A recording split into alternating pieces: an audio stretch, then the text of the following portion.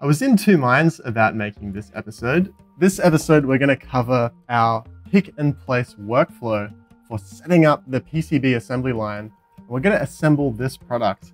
In the last episode, we talked all about the test jig for the PiicoDev servo driver. We're getting ready for manufacture, and before we manufacture, we need to make sure that we can test to make sure we have working units. We completed that test jig, it's working just fine, and now we're up to the actual manufacture step.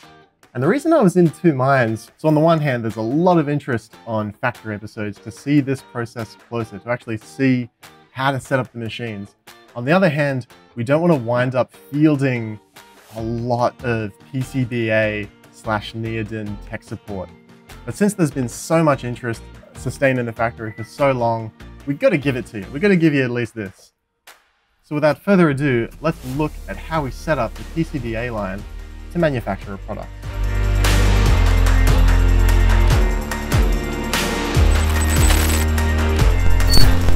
So to set up the machine, we're going to need to place components. We're going to move the machine around and there's no point in starting unless the machine is warmed up. So step one, warm up the machine.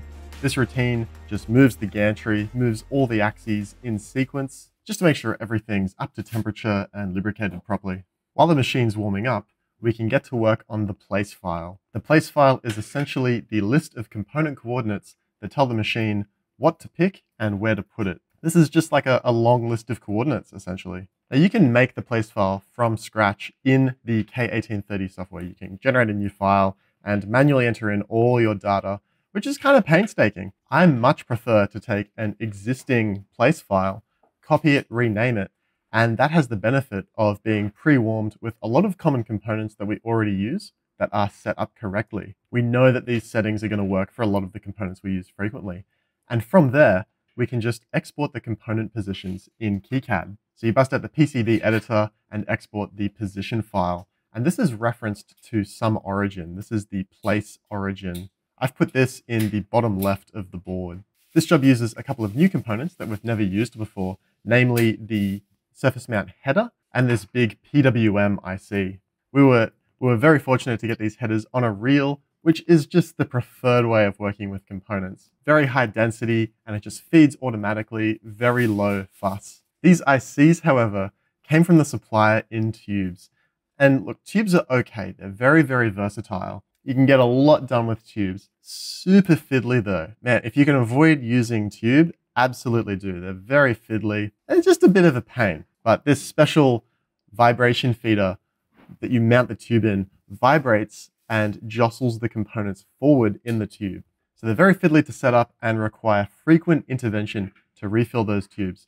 And they're kind of noisy.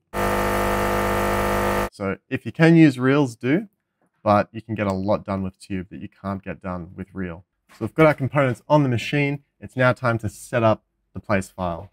And on the K1830 software, this is just a series of tabs and we work from left to right. Tab 1 is all about the general panel dimensions and positioning within the machine. Uh, tab 1, not that interesting. Tab 2, however, is the component coordinates. This is what we generated from KiCad earlier. This is the order of components to place and where to place them with what rotation. Now, this is also where we enter fiducial information. All these component references are with respect to that place origin that we saw earlier on. But the pick and place machine needs some way to find the panel within its build volume.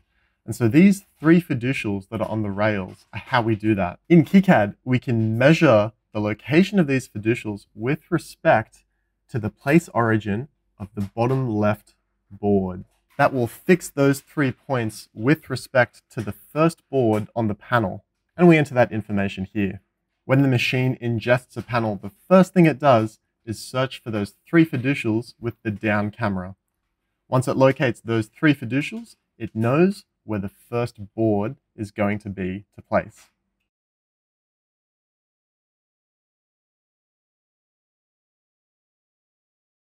Okay, so it knows where the first board is, but what about every other board that follows? Well, since we've tiled the panel this regular pattern, we can prescribe that pattern in tab 3. Tab 3 is all about panelization. From this menu, we set the number of rows in the panel and the number of columns. Then we walk around with the camera and prescribe where the corner boards are. This is the top right, the top left, and the bottom left boards. Once we have that information, along with the number of columns and number of rows, the machine just does the math to create that tiling of boards. So all that work is just to set up the properties of the panel. We still have to set up all the properties of the components. Tab 4 is where we set up the feeder properties. This is what component is loaded into what feeder, where in space that feeder is, because even though feeders are numbered, really that's just an index. They can be anywhere in X, Y, Z space. And also how to treat the part loaded into that feeder. That's the size of the part and the orientation of the part. Also how to move with that part. You can imagine big, heavy parts. You should probably move the machine a little slower than tiny little grain of sand size parts where the machine can just zip back and forth like crazy. The size of the part is really important. This is how the machine optically recognizes the part to make sure it was a good pick. If a component is rolled, it's going to have a different aspect and could be rejected by the machine. So once we have the part programmed, we can do what's called a feeder test. We can open the feed test menu and do a test pick. This is where we can select the nozzle to use, pick up the part and run it over the vision system to get a test recognition. We can also use this to measure the XY dimensions of the part as the machine sees it. With all the parts loaded, the panel set up, and the feeders set up, we're ready to do a dry placement. A dry placement is like a, a big confirmation. It checks the job is set up correctly, and it can be used to catch errors before committing to assembling a panel. Simply, this is where we just place parts onto double-sided tape instead of solder paste. And you can use this to check that your fiducials are correct, that components are rotated the correct way. We don't often do this on new jobs, but when you're working with like new exotic parts that you've never worked with before, it can be a real time saver. It's a really useful check and it can reveal some improvements early on. For example, you may recall from a previous episode, somebody said this. The courtyards overlap by quite a bit. And like, that's not a big deal. You just get some warnings when you run the design rule checker. But these are pretty conservative and I can see that they're going to place just fine, just fine, just fine, just fine. God damn, what a dummy. This, this is the value of the dry placement. In this case, the parts are actually close enough that the caps foul during placements.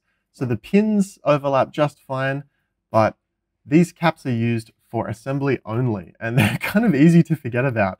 Of course, they were respected by the courtyard of the footprint though. So in this case, the dry placement was very helpful.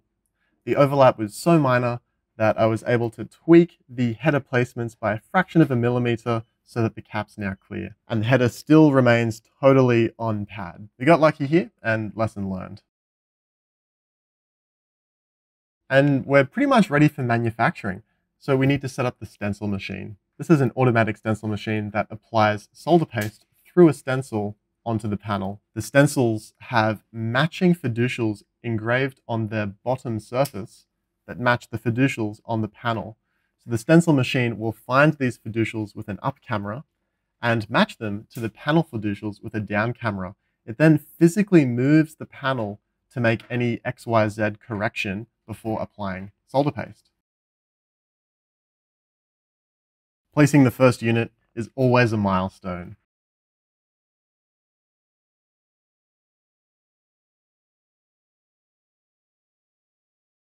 Once placing that first unit is complete, the machine will stop and give you the opportunity to make any minor corrections to the placements. You can step through with the down camera and look at every component that's placed to make minor XY corrections. Remember, these are machines and these are tiny parts. Little changes in temperature, stretch in the belts, whatever. There's, it's still an open loop system and so this correction step is really, really useful to dial in that placement perfectly. With that complete, we can finish up with the first panel. And on this first panel, I decided to just place the first row and bake and then test that to design verify the whole process before committing the rest of the panels.